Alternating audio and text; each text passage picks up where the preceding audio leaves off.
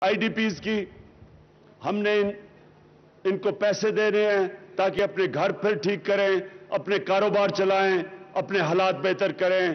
انشاءاللہ محمود خان، پختونخوا کی گورنمنٹ پورا آپ کی مدد کرے گی۔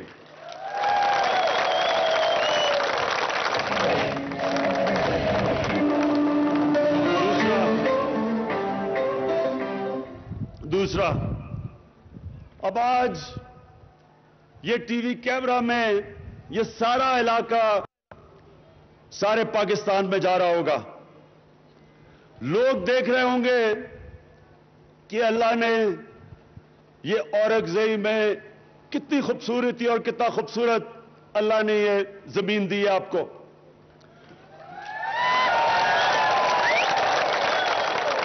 اور کیونکہ میں اپر اورگزئی بھی گیا ہوں، وہ بھی اللہ نے ایک خوبصورت ترین جگہ دی ہے۔ تو انشاءاللہ ہماری حکومت پہلی حکومت ہے جس نے فیصلہ کیا ہے کہ پاکستان میں ٹورزم کو فروخت دے تو یہ آپ کے علاقوں کے اندر میں نے محمود خان سے کہا ہے کہ ہم نے آپ کے لیے ٹورزم کے لیے سہولتیں پیدا کرنی ہیں۔ ٹورزم سے کیا ہوتا ہے؟ ٹورزم سے لوگوں کے لیے کاروبار بڑھتے ہیں، نوکریاں بڑھتی ہیں۔ ہر جگہ جدھر ٹورزم ہوتی ہے، جب باہر سے لوگ پیسہ خرچ کرتے ہیں، لوگوں کے کاروبار دکانیں چلتی ہیں۔ نوجوانوں کو روزگار ملتا ہے۔ آپ حیران ہوں گے۔ آپ نوجوانوں، ایک چیز ہے، حیران ہوں گے سن کے کہ ملیشیا میں آپ ذرا یہ سنیں بائیس ارب ڈالر کی ٹورزم سے فائدہ ہوتا ہے۔ ترکی میں چالیس ارب ڈالر کی ترکی میں ٹورزم سے فائدہ ہوتا ہے۔ اور ہمارے پاکستان میں جس میں اللہ نے وہ وہ چیزیں دی ہیں جو نہ ترکی میں نہ ملیشیا میں ہیں۔ وہ خوبصورتی دی ہے۔ وہ مختلف قسم کی چیزیں دی ہیں جو شاید ہی کسی ملک میں ہیں۔ اور ہمارے میں ٹورزم کا ہونا نہ ہونے کا فنے کا فائدہ ہی نہیں ہوتا۔ کیونکہ ہم نے فروخت ہی نہیں دی، تو انشاءاللہ ہماری حکومت وہ آئے گی جو آپ کے علاقوں کے اندر ٹورزم پروموٹ کرے گی تاکہ نوجوانوں آپ کو یہ نوکریاں ملیں۔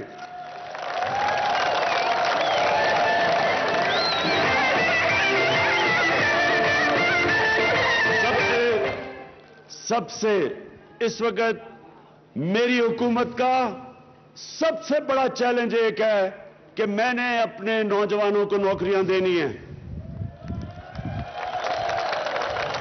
اس کے لیے انشاءاللہ ایک تو ہم نے یہ جو محمود خان نے بتایا جو روزگار سکیم کہ نوجوانوں کو سود کے بغیر قرضے دیں گے تاکہ اپنی بزنس کر سکیں، دکانیں چلا سکیں۔ ہم نے ہنر سکھانا ہے سکل ایجوکیشن ایک تو ڈگری کالج ہے، ڈگری کالج کے اندر سکل ایجوکیشن دینی ہے۔ یعنی کہ دیکھیں، ایک مزدور سارا دن کام کرتا ہے، سارا دن کام کر کے دو سو، تین سو، چار سو روپیہ کماتا ہے۔ لیکن اگر اسی کو اگر تین مہینے لگا کے ہم ہنر سکھا دیں، تو وہی سارا دن کام کر کے دن میں تین، چار ہزار روپیہ کما سکتا ہے۔ اور اگر اس کی اور ہم اسے اور ہنر سکھا دیں کمپیوٹر سکھا دیں کمپیوٹر کے اندر بہتر چیزیں سکھا دیں تو وہی نوجوان دن کا دس ہزار روپیہ کما سکتا ہے۔ کہنے کا مطلب یہ ہے۔ ایک منٹ میں یہ تھوڑی دیر سے اتارنے لگا ہوں کیونکہ میری آنکھوں کے ساتھ نہیں آ رہی ہے۔ کہنے کا مطلب یہ ہے، سنیں ذرا آپ۔ دیکھیں۔ ہماری طاقت اس ملک کی کہ ساٹھ فیصد پاکستانی تیس سال کی عمر سے کم ہے۔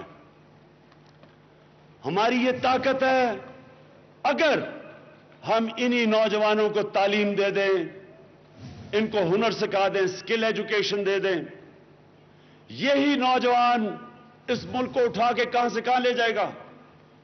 قبائلی علاقے کے اندر ہماری جو روایتیں ہیں ہم اپنی گھر میں بیٹیوں کو کمپیوٹر ایجوکیشن جاب ہے، آئی ٹی کی، انفارمیشن ٹیکنالوجی کی جو انقلاب ہے، ان کو گھر میں اگر ہم کمپیوٹر سکھا دیں، وہ گھر بیٹھے بیٹھے اپنے روزگار اپنے گھر میں بنا سکتی ہیں۔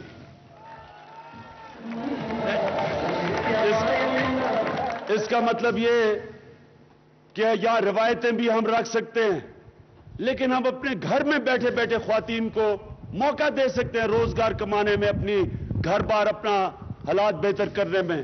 اسی طرح نوجوانوں کو۔ تو ہمارا اب سارا زور ہوگا۔ اب جو قبائلی علاقہ ضم ہو گیا پختونخوا کے ساتھ، اب ہماری پوری کوشش ہوگی کہ ہم اپنے قبائلی علاقے کو اوپر اٹھائیں، اپنے نوجوانوں کا تعلیم کا نظام بہتر کریں۔ باہر سے انویسٹمنٹ لے کے آئیں۔ یا آپ کے لیے یا مدنیات ہیں منرلز ہیں، اس کے لیے لوگوں کو لے کے آئیں نیچے علاقے میں گیس ہے، تانبے تانبے کے ذخیرے ہیں۔ یہ جو اب تک کیونکہ حالات اچھے نہیں تھے، کوئی باہر سے آتا نہیں تھا سرمایہ کاری کرنے کے لیے۔ انشاءاللہ یہ سارا علاقہ سرمایہ کاری کے لیے کھولیں تاکہ یہاں سے ہمارے نوجوانوں کو کراچی نہ جانا پڑے، نوکریاں ڈھونڈنے کے لیے، اسلام آباد نہ جانا پڑے، پشاور نہ، یا بیٹھے بیٹھے نوجوانوں کو نوکریاں ملیں۔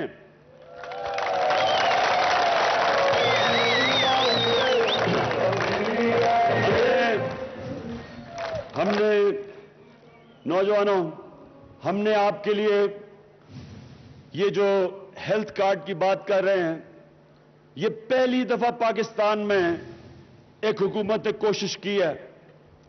کہ جو ہمارے غریب طبقہ ہے، اگر وہ بیمار ہو جاتے ہیں، تو ایک غریب مزدور جو سارا دن محنت کرتا ہے، یا جو کسان وہ مشکل سے اپنے گھر میں اپنے بیوی بچوں کا پیٹ پالتا ہے، ایک گھر میں بیماری ہوتی ہے، وہ بچارہ مقروض ہو جاتا ہے، اس کے پاس پیسہ نہیں ہوتا۔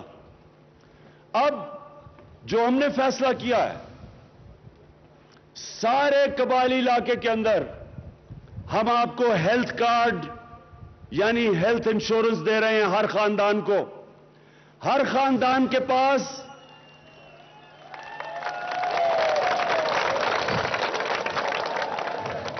ہر خاندان کے پاس سات لاکھ بیس ہزار روپیہ اس کارڈ کے اوپر ہوگا۔ اس خاندان میں کسی بھی ہسپتال میں اپنا جا کے علاج کروا سکتا ہے سات لاکھ بیس ہزار روپے کے بیچ میں۔ یہ سارے قبائلی علاقے میں ہم کارڈ بانٹ رہے ہیں۔ میں آپ کو جو تعلیم کی جب بات کرتا ہوں تو ایک اور بات کہنا چاہتا ہوں۔ آج تک کسی حکومت نے یہ نہیں فکر کی کہ ہمارے مدرسے میں لاکھوں بچے پڑھتے ہیں۔ لیکن کبھی کسی نے یہ نہ سوچا کہ ہمارے مدرسے کے بچوں کے لیے بھی ہم ان کو موقع دیں، وہ بھی اوپر اٹھ سکیں، وہ بھی اوپر آ سکیں پاکستان میں۔ ڈاکٹر بنے جنرل بنے جج بنے لیکن کبھی کسی حکومت نے مدرسوں کے بچوں کا کبھی پرواہ نہیں کی۔ میں آج آپ سب کے سامنے کہہ رہا ہوں میں نے یہ فیصلہ کیا ہے کہ جو مدرسوں کے بچے ہیں، یہ میرے بچے ہیں۔ میں انشاءاللہ آپ کو دکھاؤں گا کہ اب سے ہمارے جو چھبیس لاکھ چھبیس لاکھ مدرسوں میں ہمارے بچے پڑھتے ہیں۔ چند ایسے بھی مدرسے ہیں جدھر سے بچے نکلتے ہیں اور بڑے بڑے کام کرتے ہیں۔ لیکن زیادہ تر مدرسے کے بچے ان پر جب پڑھ بھی جاتے ہیں، ان کو روزگار نہیں ملتا۔ ہم نے انشاءاللہ میں سارے دینی مدرسوں کے جو ایسوسیشنز ہیں، ان کے ساتھ بیٹھ رہا ہوں۔ ان کے ساتھ ہم بیٹھ کے یہ اب کوشش کریں گے کہ ہمارے بچے دین بھی پڑھیں، پوری دین کی بھی تعلیم لیں، لیکن ساتھ ساتھ سائنس بھی پڑھیں، انجینئرنگ بھی پڑھیں۔ تاکہ وہ ہمارے جب بچے ہوں تو کوئی بھی کسی بھی شعبے میں جانا چاہے وہ جا سکے۔ تو انشاءاللہ میرا یہ بھی اب وعدہ ہے کہ مدرسوں کے اوپر بھی ہم پورا زور لگانے لگے ہیں۔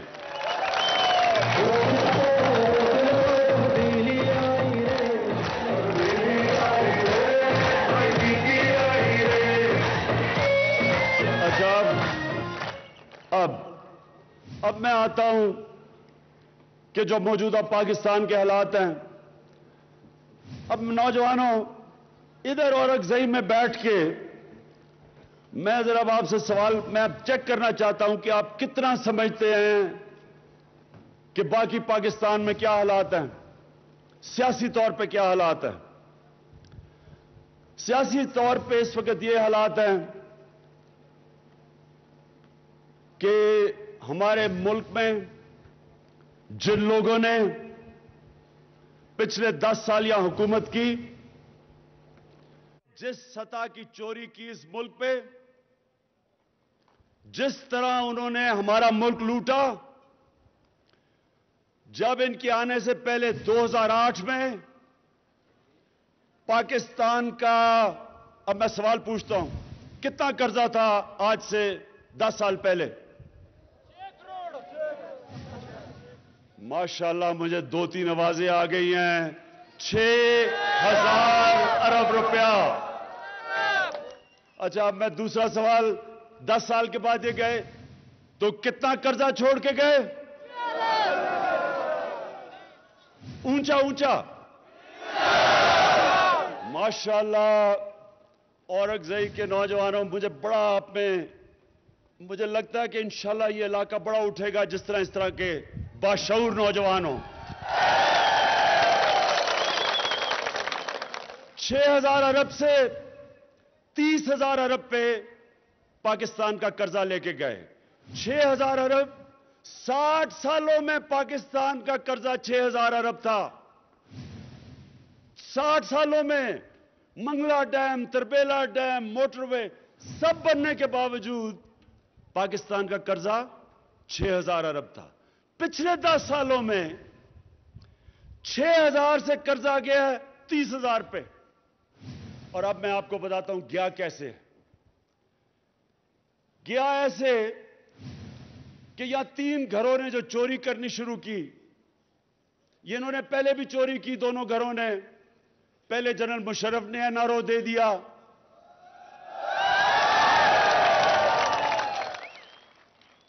نواز شریف نواز شریف خاندان کو سعودی عربیہ جانے دیا۔ اور وہاں جانے دیا اور پیچھے ہدائبہ پیپر مل جو منی لانڈرنگ کا کیس تھا، وہ بند کر دیا۔ اچھا منی لانڈرنگ کیا ہوتی ہے؟ منی لانڈرنگ ہوتی ہے، یہ ذرا سننے آپ نے۔ منی لانڈرنگ جس کی وجہ سے آج اگر یہ ہمارے اوپر قرضے نہ چڑھے ہوتے یہ جو آپ نے ڈیمانڈ دی ہیں نا، یہ کچھ نہیں ہے۔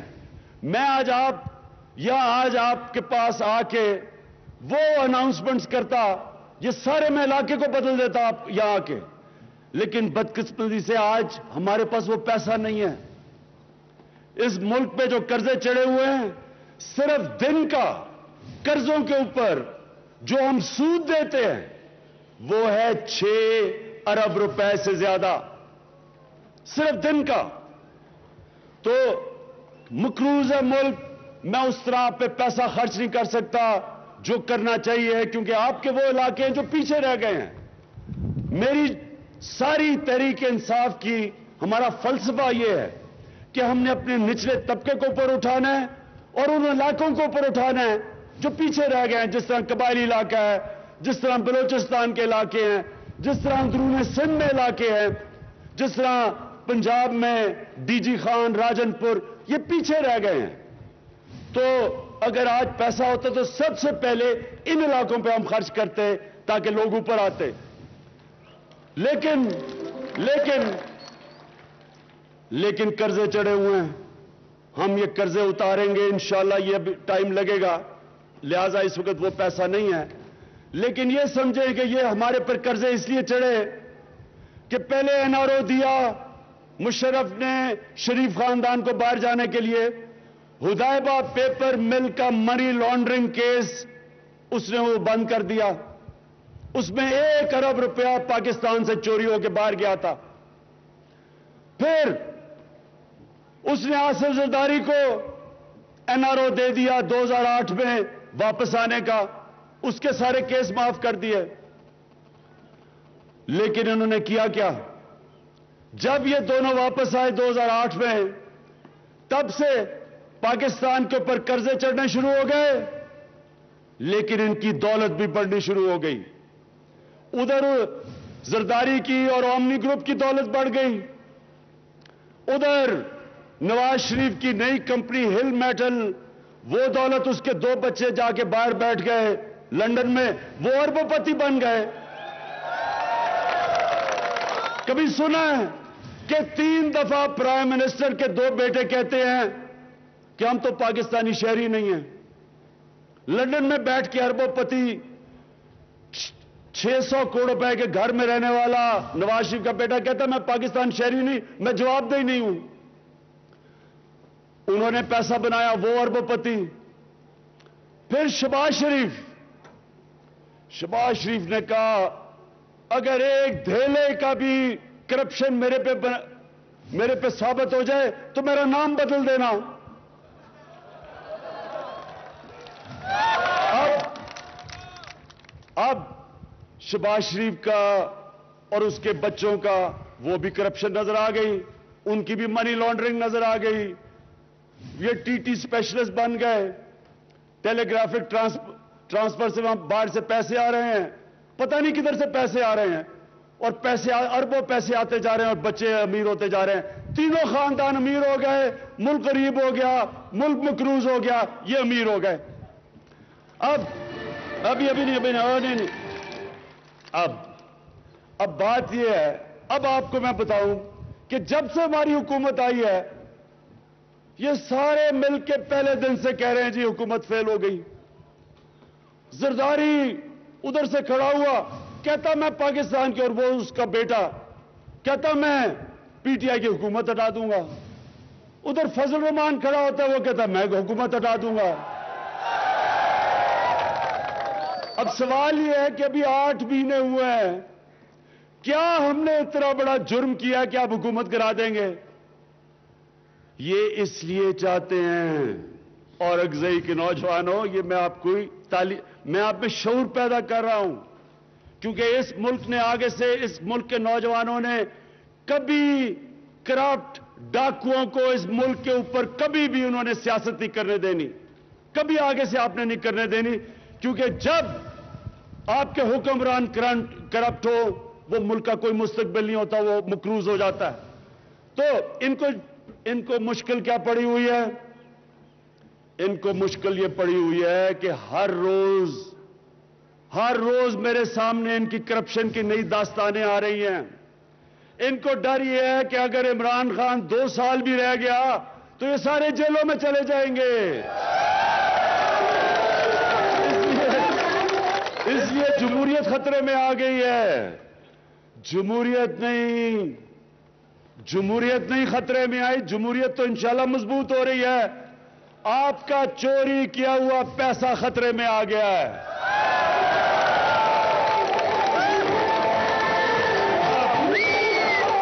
میں آخر میں میں محمود خان آپ کو بھی آج اس سٹیج پہ سے کہہ رہا ہوں اور وہاں ہمارے چیف منسٹر عثمان بزدار وہ بھی سن رہے ہوں گے، پنجاب کے ان کو بھی میری آواز جائے۔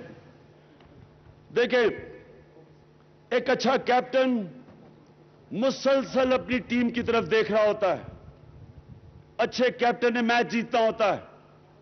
میچ جیتنے کے لیے وہ اپنی ٹیم پہ نظر رکھتا ہے۔ کئی دفعہ اس کو بیٹنگ آرڈر بدلنا پڑتا ہے۔ بیٹس مین کسی کو اوپر کھلانا پڑتا ہے، کسی کو نیچے۔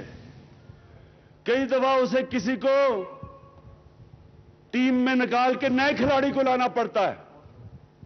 جو کیپٹن ہوتا ہے، اس کا صرف ایک مقصد ہوتا ہے، اپنی ٹیم کو جتانا۔ جو پرائم منسٹر ہوتا ہے اس کا صرف ایک مقصد ہوتا ہے۔ اور میرا صرف ایک مقصد ہے کہ میں اپنی قوم کو، میں اپنی قوم کو جتاؤں، اپنی قوم کو اٹھاؤں۔ اور میں اللہ کو جواب دوں۔ اللہ میرے سے چاہتا ہے کہ میں اس ملک میں اپنے لوگوں کو، اپنے کمزور لوگوں کو اوپر اٹھاؤں۔ یہ میرا مقصد ہے۔ اس کے لیے ابھی بھی میں نے اپنی ٹیم کے اندر بیٹنگ آرڈر بھی چینج کیا اور تھوڑی ایک آدھ تبدیلی کی ہے۔ میں آگے بھی کروں گا۔ سارے وزیروں کو میں یہ کہنا چاہتا ہوں کہ جو میرے ملک کے لیے فائدہ مند نہیں ہوگا، اس کو میں چینج کر کے اس وزیر کو لے کے آؤں گا جو میرے ملک کے لیے فائدہ مند ہو۔ میں میں آپ کو، میں میں محمود خان آپ کو بھی یہ کہتا ہوں، اپنی ٹیم کے اوپر نظر رکھیں۔ ہم اللہ کو جواب دیں۔ یہ بہت بڑی ذمہ داری ہوتی ہے جب اللہ آپ کو ملک کا سربراہ بناتا ہے یا صوبے کا سربراہ بناتا ہے۔ ہم صرف اللہ کو جواب دیں۔ وہ دیکھ رہا ہے۔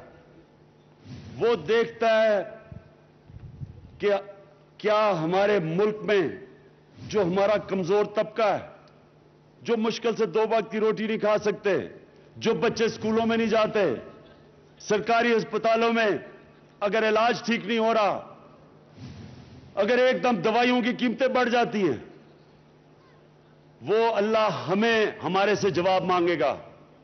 اس لیے ہمارے پہ ذمہ داری ہے کہ ہم مسلسل اپنی ٹیم پہ نظر رکھیں اور مسلسل ٹیم کے اندر تیار ہو چینج کرنے کے لیے کوئی بھی ہمارا کھلاڑی اگر صحیح پرفارمنس نہیں دے رہا، ہمیں تیار ہونا چاہیے، یا اس کا بیٹنگ آرڈر بدلیں، یا اس کو چینج کر کے ایک نیا کھلاڑی لے کے آئیں۔ اب اور آپ سے آخر میں میں آپ کو یہ کہتا ہوں کہ ستائیس سال کے بعد میں یہاں آیا ہوں۔ میں نے یہاں جب کتاب کے لیے آیا تھا تو تب بھی مجھے یاد ہے، اللہ نے آپ کو بڑی ایک خوبصورت زمین دی ہے رہنے کے لیے۔ انشاءاللہ ہماری کوشش ہوگی، میں باقی بھی قبائلی علاقے میں جاؤں گا۔ میری ساری کوشش ہوگی کہ قبائلی علاقے کے لوگوں کو اب میں اٹھاؤں۔ جو قبائلی علاقہ سارے پاکستان سے پیچھے رہ گیا، اس کو میں اوپر لے کے آؤں۔ اور میں پھر سے، میں یہ اللہ سے دعا کرتا ہوں کہ افغانستان میں امن ہو۔ افغانستان میں اگر امن ہو تو ہماری تجارت بڑھے گی افغانستان سے۔ افغانستان کی حکومت کو میں کوئی آج تجویز نہیں دوں گا کیونکہ وہ کہتے ہیں مداخلت ہو جاتی ہے، اس لیے میں کوئی ان کو تجویز نہیں دوں گا۔ صرف آپ کے لیے دعا کروں گا کہ اللہ افغانستان میں امن لے کے آئے تاکہ وہاں وہ بھی لوگ اوپر اٹھ سکیں۔ انہوں نے چالیس سال صرف جنگ دیکھی ہے۔ میں ابھی شوکت خانم کینسر ہاسپٹل گیا پشاور میں۔ دو مجھے افغانستان کے مریض ملے۔ مزار شریف سے آئے ہوئے تھے۔ سوچو مزار شریف سے پشاور میں شوکت خانہ میں علاج کروانے آئے تھے۔ میں یہ امید رکھتا ہوں کہ انشاءاللہ افغانستان میں تھوڑے حالات بہتر ہوں۔ ہم میں شوکت خانم کو کہوں گا کہ پوری کوشش کریں افغانستان میں بھی ایک کینسر ہاسپٹل بنائے تاکہ مریضوں کو اتنی دور علاج کروانے کے نہ آنا پڑے۔ بہت بہت شکریہ۔ وزیر اعظم عمران خان اور اکثر میں جلسے سے خطاب کر رہے تھے۔ ان کا کہنا تھا کہ وزیر اعلیٰ پنجاب اور وزیر اعلیٰ خیبر پختونخوا کو وارننگ دی جاتی ہے۔ ساتھ ہی ساتھ انہوں نے یہ بھی کہا کہ بیٹنگ آرڈر تبدیل کیا ہے۔ مزید تبدیلیاں بھی کروں گا۔ تو آپ کو اپڈیٹ کر رہے ہیں کہ وزیر اعظم عمران خان اور اکزئی میں جلسے سے خطاب کر رہے